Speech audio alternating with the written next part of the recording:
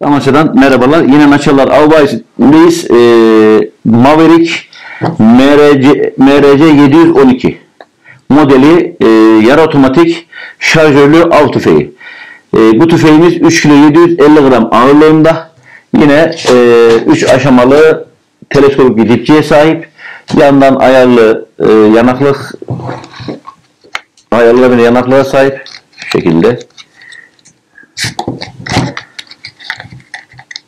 Plastik dipçik peti. Şuradaki düğmeden aşağı yukarı ayarlamalı 3 aşamalı dipçik. Tüfeğimizin 2 ve e, düzeltiyorum 5 ve 10 olmak üzere 2 adet şarjörü var. E, diğer normal bu tarz tüfeklerle birebir aynı özelliklere sahip.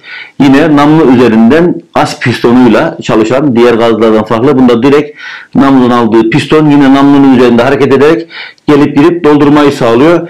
Yine bunda da 25 santimlik üzerinde bir Picatinny ray var. 22 mm genişliğinde Red Dot.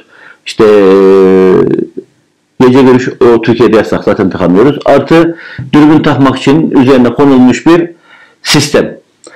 Yine aynı şekilde e, 4 adet önde, sağ yanda, sol yanda, üstte ve altta olmak üzere 5'er santimlik, e, 3 adet 6'şer santimlik Picatinny raya sahip. Bu da e, lazer noktalayıcı, e, işte el feneri veya daha değişik aparatlar takmak için nişangahı sağ tarafa alarak e, normal arpa, direkt arpacıktan ateş etmek için şu şekilde 45 derece yan veya da soldan atabilmek için yan 45 derece açılarla ateş edebilmek üzere konulmuş arpacık Picatinny rayları.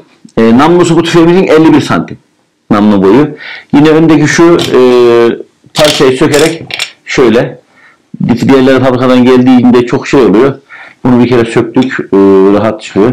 Şu şekilde. Yine 1.3.5 olmak üzere 3 adet şoka sahip. Şu şekilde.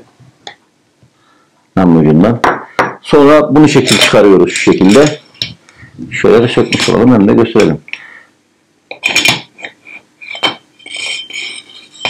Evet. Şöyle normal gazlı sistem mekanizması. Şunu da göstereyim şöyle. Şöyle göründüğü üzere normal gazlı sistem mekanizması. Şarjörleri daha önce kontrol edek taktığımız için şarjörlerimiz boş. Şöyle de gösterebiliriz. Bu beşli şarjör bir de bunun onlusu var. Tüfeğimizin görselliği bu şekilde.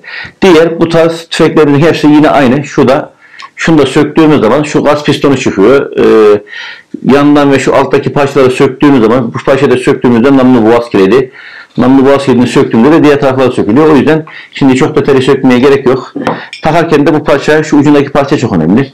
O parça bizim araç tutucumuz. Şu şekilde onu yerinden çıkarmadan taktığınız zaman şu şekilde yerine oturuyor.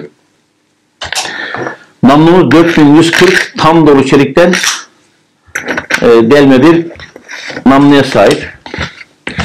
4140 delme çelik namlu. 7075 alüminyum gövde, 7075 alüminyum el kondağı. Zaten şu çıtlama sesi geldi mi iş bitiyor. Şöyle yine U ve V gezi olmak üzere 2 adet 2 adet delikliymiş bunda. 2 adet şöyle ince delik uzak atmak için şu geniş delikten yakındaki hedefler atmak için sağa sola ayarlanabilir bir geze sahip. Yine arpacıkta aşağı yukarı ayarlanabilir bir arpacığa sahip şöyle. Bu arpacığımızın önündeki şu mandalı çevirdiğimiz zaman aşağı yukarı arpacık inip çıkıyor.